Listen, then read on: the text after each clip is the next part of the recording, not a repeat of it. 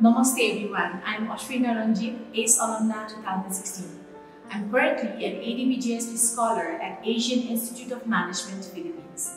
Sharing my ACE experience, I feel ACE provided us with this enabling environment that made us push our horizon of knowledge, skill, and mindset.